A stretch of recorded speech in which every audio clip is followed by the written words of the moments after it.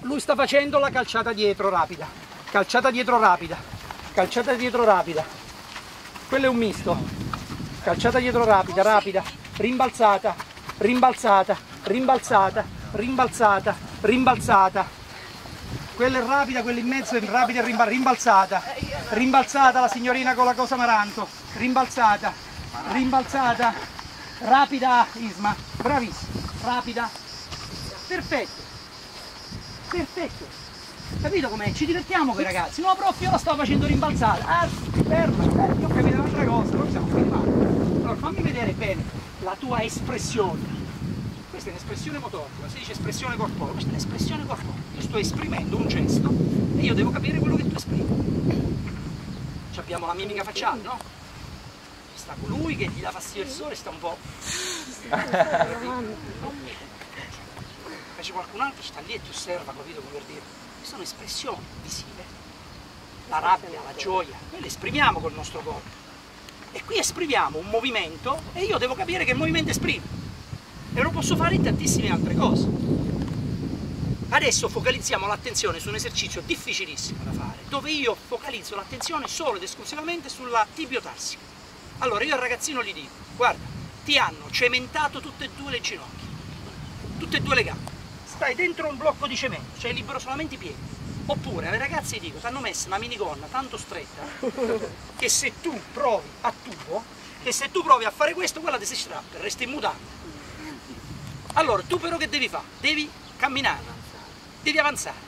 Allora, non puoi assolutamente muovere le ginocchia, cioè non puoi lavorare sul piano sagittale, puoi usare solo i piedi, che per un saltatore è come le mani per un pianista, è tutto. Il piede è tutto per il saltatore.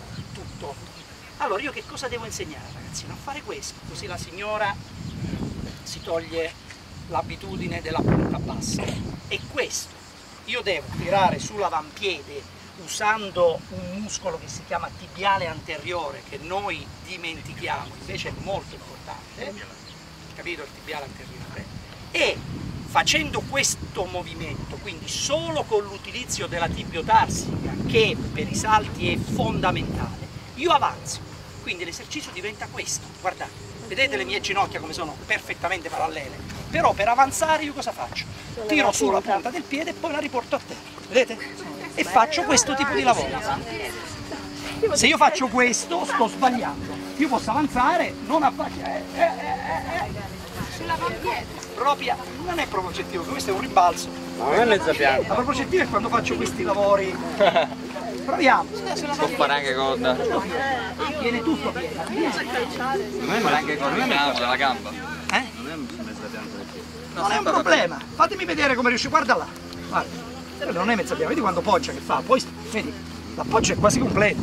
Non avanzare con le ginocchia. Non avanzare con le ginocchia. Bravo, bravo, lui lo sta facendo molto bene, poi lo facciamo vedere. Guarda cosa sta facendo Andrea. Sforbiciata. Pure lui sta facendo la sforbiciata. Quanto è difficile, bravo. Non avanzare con le ginocchia. Dai, dai, oh, lui lo sta facendo benissimo. Ma chi è il tuo professore? chi è il tuo professore? Vedi la signorina come trova, la signora come trova difficoltà perché per tutta la vita gli hanno detto giù quelle punte!